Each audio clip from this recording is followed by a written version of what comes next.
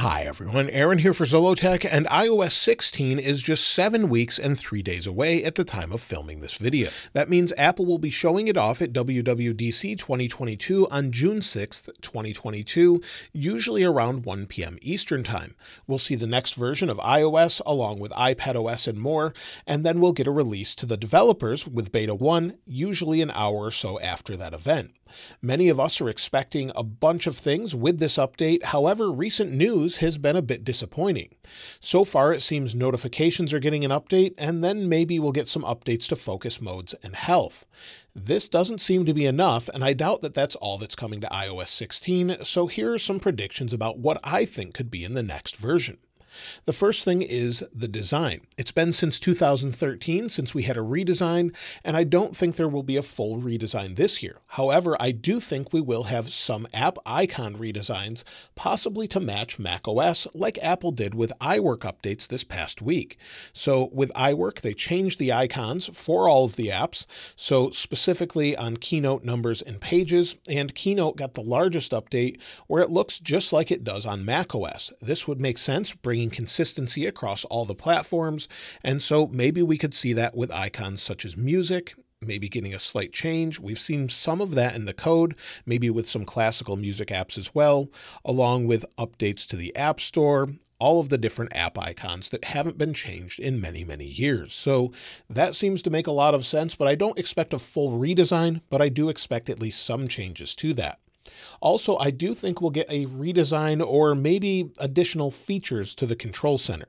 Control Center hasn't really changed for many, many years. I actually preferred when it pulled up from the bottom, but this is very functional, but not very well organized. So seeing some organization to this that makes a little bit more sense and maybe collapsible areas or things like that with additional features that you can add within the settings under your control center that seems to be something that Apple would be updating this year, so I do think we'll see that. One thing I know a lot of people have wanted for a long time that I'm going to predict we'll see with iOS 16 is some form of split view or better multitasking. On the iPad, we've had split view for a long time, and that allows you to use two apps at once. So whether I want to use maybe music and then bring in another app, that could be any other one of these apps, but maybe I want to bring in, let's see, we'll bring in the App Store here. We'll just bring it off to the side, use two apps at once, along with not only this, but picture in picture. Seeing some changes to that makes a lot of sense on iOS, since that's one thing it's been majorly lacking for a long time. On the iPad, it works great. There's no reason they shouldn't bring it to the iPhone, and I think iOS 16 should bring this. I also think we'll see some updates to iMessage. iMessage has been getting a lot of criticism since it's not really cross platform, so maybe we'll see some enhancements, but not that far, but maybe an enhancement to include secure delete functions like you get on Telegram and Signal.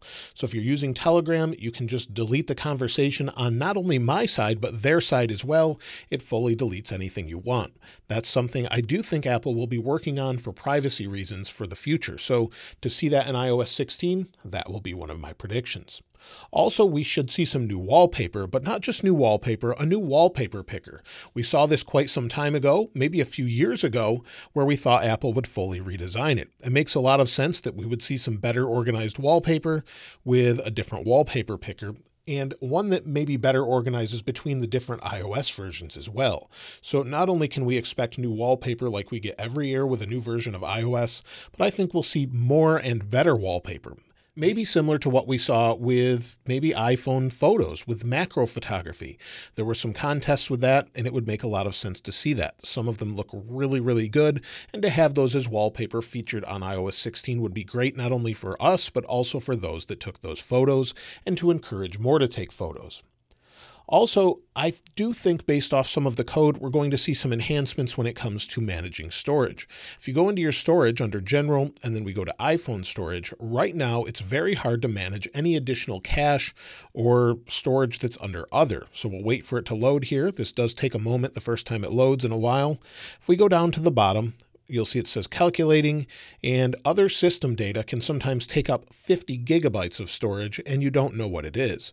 In the recent code of iOS 15.5, it does look like there might be something to do with this, maybe being able to better manage this, although it's hard to say exactly what it's related to. You'll see as it continues to, to to scan for system data, it would make a lot of sense to have better control over this instead of needing a third party app to actually clear this data. I do think we'll see something with iOS 16 to better manage this, or maybe just a rearrangement of what's in it.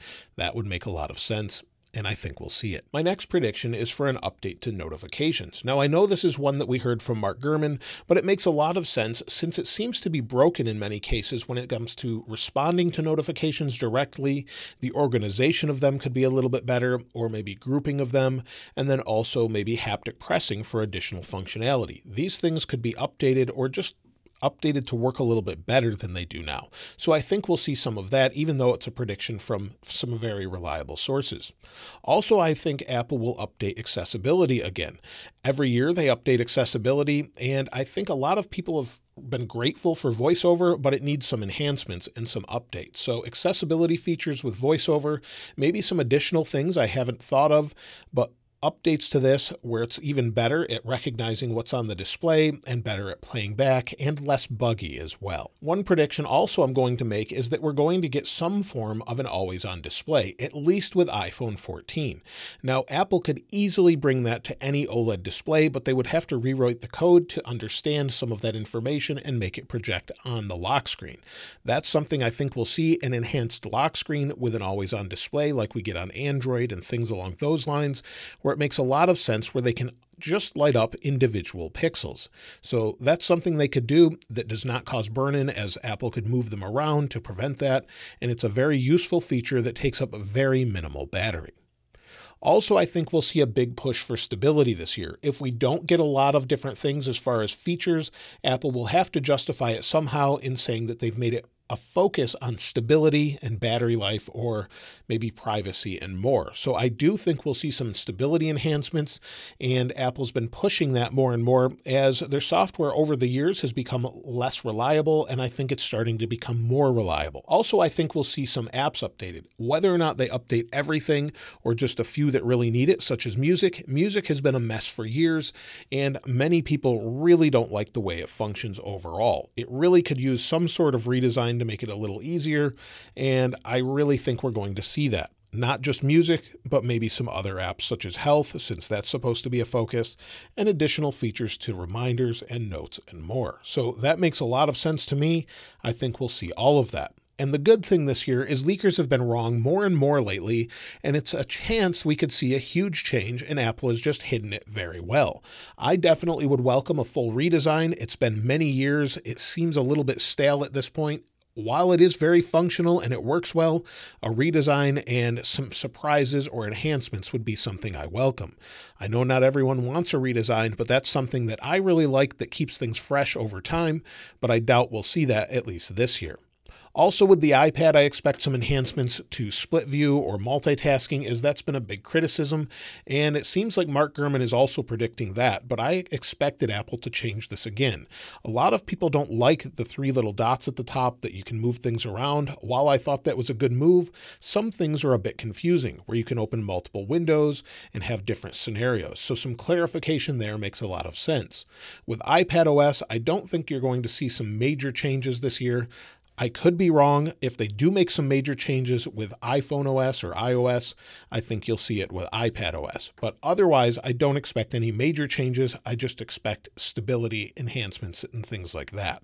I don't expect some huge changes, but hopefully I'm wrong in all of that. So those are my almost 10 predictions about what to expect with iOS 16. We'll come back to this a little bit later and see if it was actually right or not. Hopefully I'm right about most of them, if not all of them, as I would like to see every one of those those things changed. Let me know what your predictions are in the comments below. I'd love to hear from you. Maybe your top five predictions about what iOS 16 will have in it. And of course, if you'd like to get your hands on this wallpaper, I'll link it in the description like I normally do. If you haven't subscribed already though, please subscribe. And if you enjoyed the video, please give it a like. As always, thanks for watching. This is Aaron. I'll see you next time.